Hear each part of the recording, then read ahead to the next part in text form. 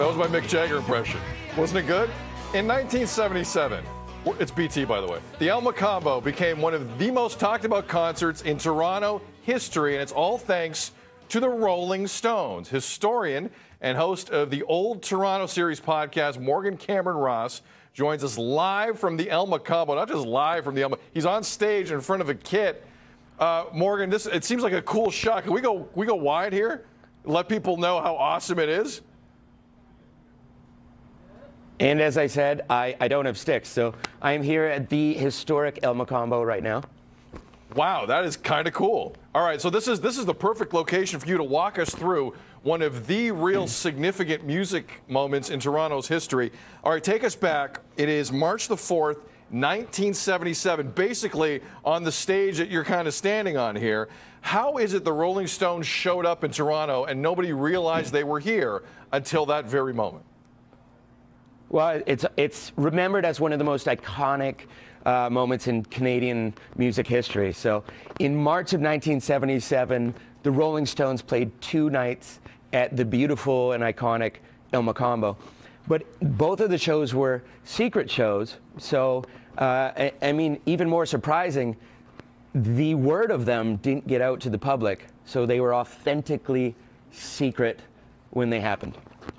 So people thought that they were coming to see essentially for two nights April Wine, one of the biggest bands of that era as well. That, that's a good show in and of itself. But they, there was a band called the Cockroaches that were opening up, and that was the uh, that was the alias, so to speak, for the Stones.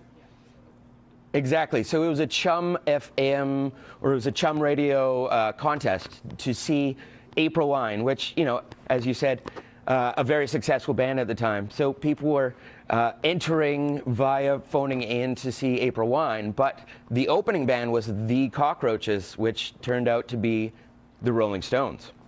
So why, in hindsight, did they choose the El Mocambo, and why the secrecy around the event? It's cool, but what was the backstory to that?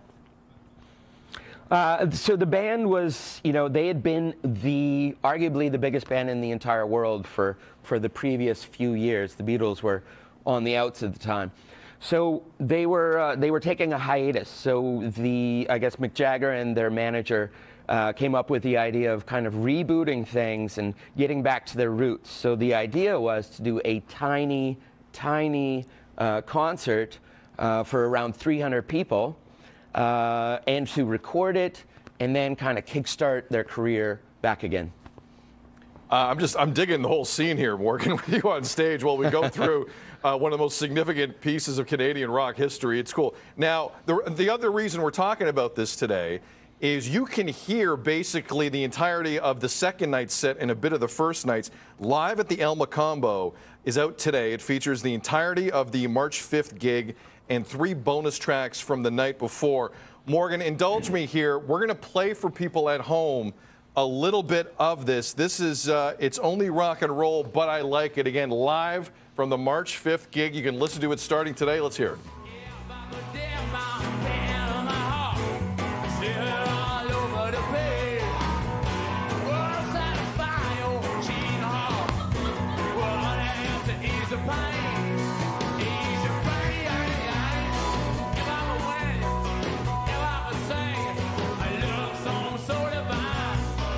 That's my Mick Jagger. Uh, they sounded great. To no one's surprise there, Morgan. They sounded great. I, I got chills hearing that. How did you feel hearing that? It's pretty cool. Well, I mean, it's it's known as uh, this iconic moment in Canadian music history. But to be honest, the concert uh, has lived on in infamy around the entire world. So the the release of this album is kind of being celebrated, you know, around the entire world right now. No doubt. And we got 30 seconds here. A bit of controversy with these gigs as well? Well, this this gig arguably is is full of controversy. Yeah. So the night before, uh, Keith Richards was arrested with uh, a significant amount of, of heroin at the Weston Castle Hotel. He was arrested, almost broke up the entire band. Uh, that, I mean, that was arguably the big dramatic thing of the night. But also, uh, Margaret Trudeau showed up with the Rolling Stones. So, uh, I mean, that, that also kickstarted a, a good amount of gossip around tabloids pretty much around the entire world. Yeah, no doubt they got people talking. And with the Keith Richards moment, that was a bit of an embarrassment, but we're happy to report Keith Richards never did drugs ever again. Yeah, I, I no, can't. he I actually up. Can't was- it was confirm. really that. good. Can't confirm that. he's Um, gonna he's gonna live to about 150 as well. Oh no, he's got he's got to figure it out over everybody. Yeah, no doubt. Uh, the new Rolling Stones album is out today. It is laced with Canadian music history. This is this is really cool. Uh, Morgan Cameron Ross of the Old Toronto Series.com. He's a friend of the show. He comes in. He gives us all the context we need. Cool shot, Morgan. Appreciate you doing this at the El Mocambo. This was fun. Take care, brother.